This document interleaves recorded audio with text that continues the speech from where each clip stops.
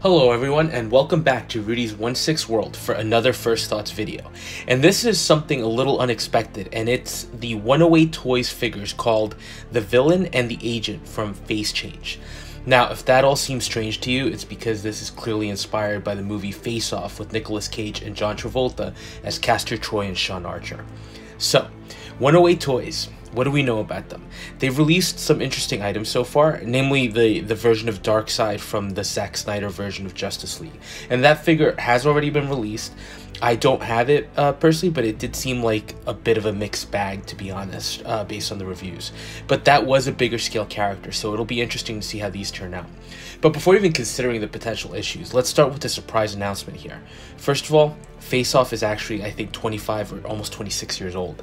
And it was one of my favorite action movies at the time. And while I would have loved the Castor Troy and Sean Archer figure, it just seemed like this was a property that not many people or many companies were really looking to touch.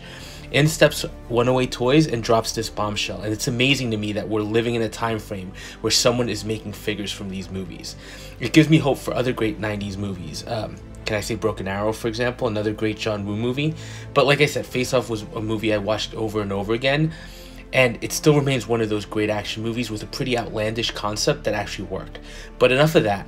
Let's start with the Castor Troy figure, and I'll say it's not a bad offering here. The sculpt is the better of the two, and I actually do think it looks a lot like Nicolas Cage. The accessories are also pretty nicely done with the very specific sunglasses and the two gold plated guns with the very elaborate decorations on the handle. Some of the other accessories are great, with the spear gun from the final confrontation and the boots from the prison, but those seem to just not fit this specific release. For the boots, you'd want the figure in the prison jumpsuit, and similarly for the spear gun, it would be from the end of the movie where he's in a black suit. So I don't mind the accessories at all, but they're not 100% accurate to this look. As far as the clothing, I think it looks really solid, with the silk shirt and the popped collar over the jacket, uh, including the burgundy shoes, being very screen accurate. The one thing about the suit itself, though, the material isn't really accurate. The one in the movie has a more satin-like finish, and it's almost a dark crimson. To be honest, one of the DAM Toys Gangster's Kingdom suits might actually work well here, but I'd be curious to see how it would fit on him. So, don't mean to nitpick, but just so you know that these are great representations of the characters as they appeared in the movie, but they're not 100% accurate, which isn't necessarily a surprise when it comes to third party. The second figure is based on John Travolta's Sean Archer, and I do feel that this figure does have an issue with the likeness, but it's an interesting um, thing to discuss. Without the glasses, you can see some distinctive features on the sculpt that clearly indicate who it's supposed to be, namely, to quote Castor Troy, this ridiculous chin.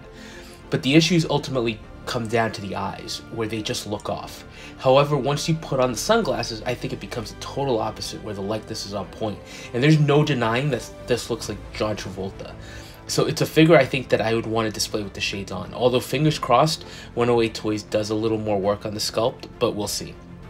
As far as accessories for him, he includes some very specific pieces like the cigarette case and the lit cigar, as well as the butterfly knife that comes in three configurations closed, open, and in the process of being open. So, nice choices here.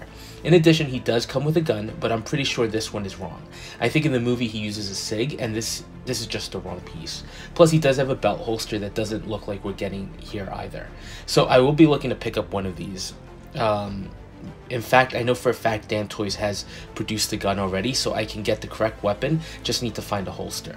So while not perfect, I do think these are pretty good. They just need a little something extra to get them closer to what we saw on screen. The other accessory they each come with is their faces, uh, along with the container that holds them during the surgical procedure. Those are interesting, and there is a note about LED light up features, so I'll be curious to see what that means once we get these in hand.